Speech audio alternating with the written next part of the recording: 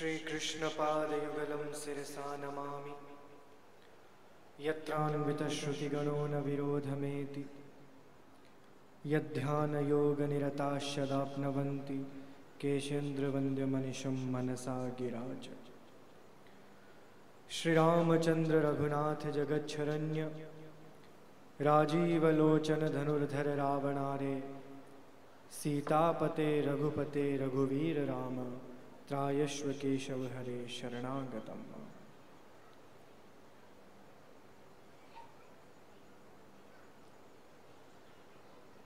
व्यासपीठ पर विराजमान हमारे परम स्नेही,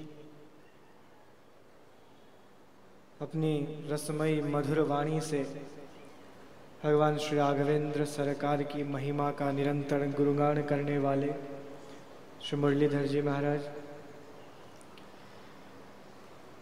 इस संपूर्ण कार्यक्रम के निमित्त सूत्रधार श्रीमती मीना जी,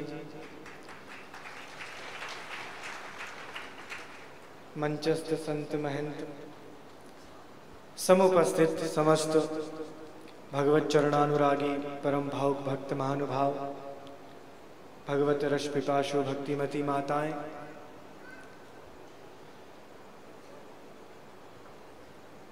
अत्यंत आनंद का अनुभव आज इस पंडाल में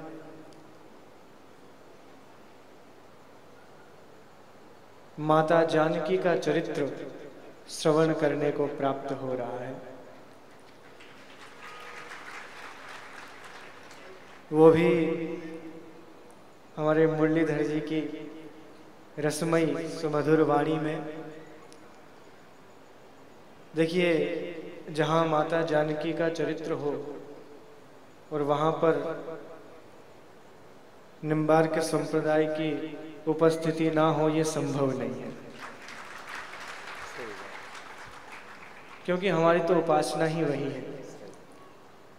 माता जानकी हो या भगवती परमाल्लाधिनी शक्ति श्री राधा हो, वस्तुतः एक ही है।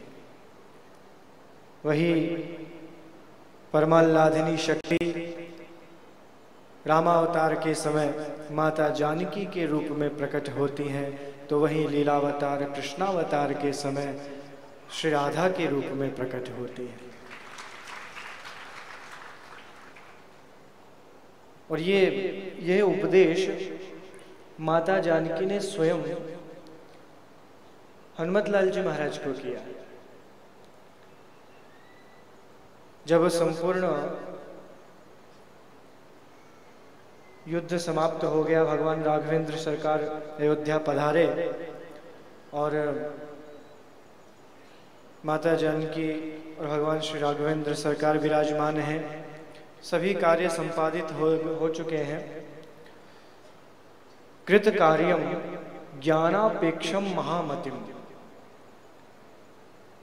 महामतिम, यहाँ पर हनुमत लाल जी के लिए संबोधन है। तो ज्ञानापेक्षम ज्ञान की अपेक्षा से। ज्ञान यहाँ पर साधारण कोई ज्ञान नहीं, अभी तो वह पराभक्ति का ज्ञान उस पराभक्ति के ज्ञान को अर्जित, वस्तुतः तो हनुमान जी महाराज स्वयं परम ज्ञानी हैं, महामती हैं, परंतु भगवान के श्री मुख से उस पराभक्ति को श्रवण करने की कामना से, मनसा से भगवान के सन्मुख हाथ जोड़कर खड़े हो जाते हैं। भगवान राघवेंद्र सरकार समझ गए कि हनुमत लाल जी कुछ पराभक्ति का ज्ञान प्राप्त करना चाहते हैं। तो भगवान ने विचार किया कि इस पराभक्ति का ज्ञान मुझसे भी अधिक यदि कोई सहज और सरल रूप में प्रदान कर सकती हैं तो वो माता जानकी है।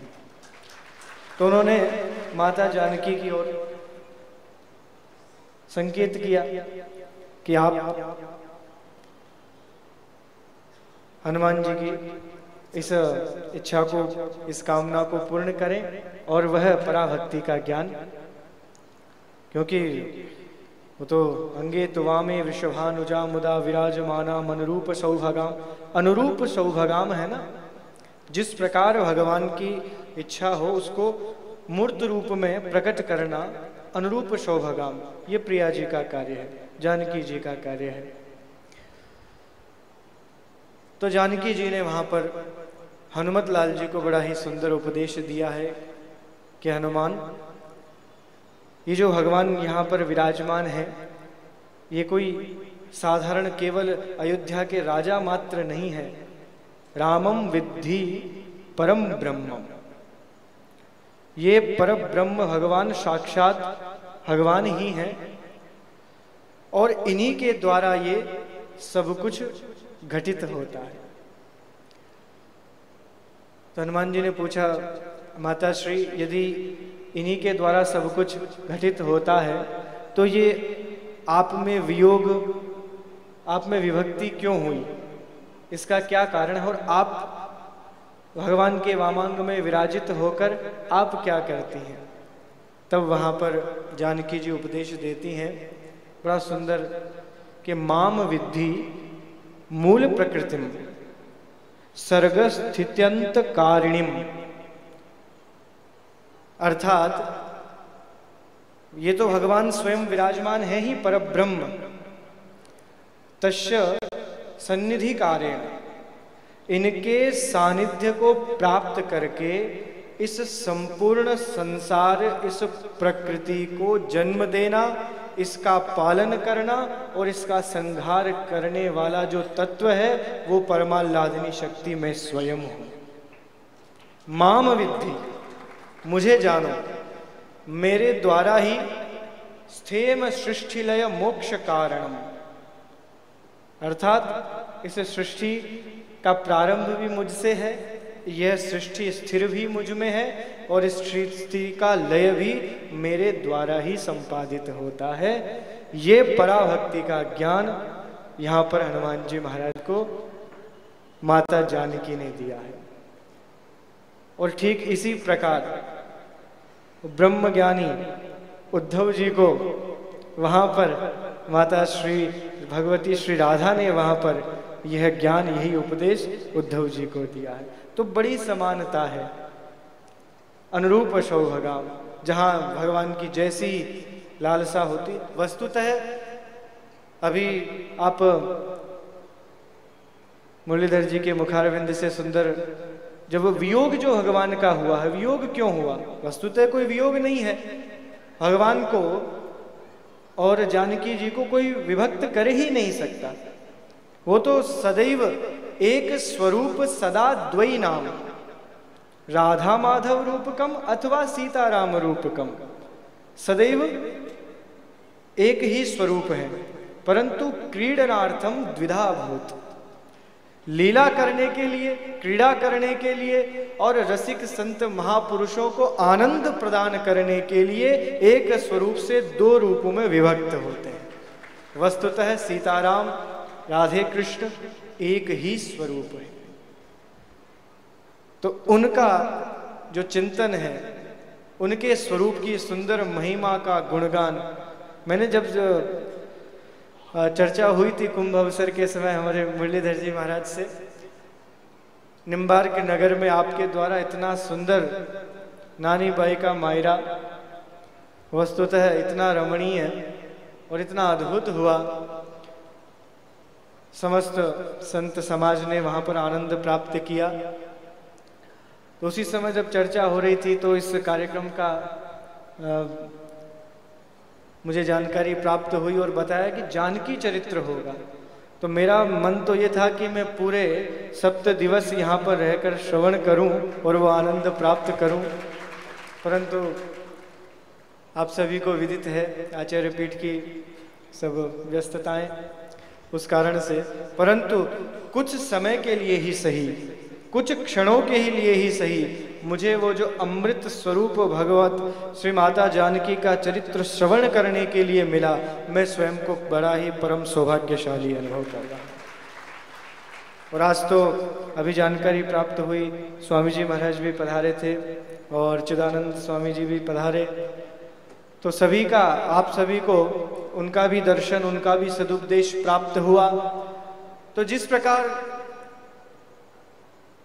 हमारी माता जानकी ने संपूर्ण संसार के लिए एक आदर्श प्रस्तुत किया कि एक आदर्श पत्नी कैसी हो, आदर्श माँ कैसी हो, एक आदर्श रानी कैसी होनी चाहिए, आदर्श पुत्री कैसी हो, ये सब कुछ सर्व सर्व गुण संपन्न यदि हम कह सकते हैं तो केवल माता जानकी को कह सकते हैं। और ये हमारी अनादि वैदिक सनातन संस्कृति का ही स्वरूप है कि आज भी हमारी ये माताएँ यदि किसी का अनुसरण करना चाहती हैं तो वो माता जानकी है।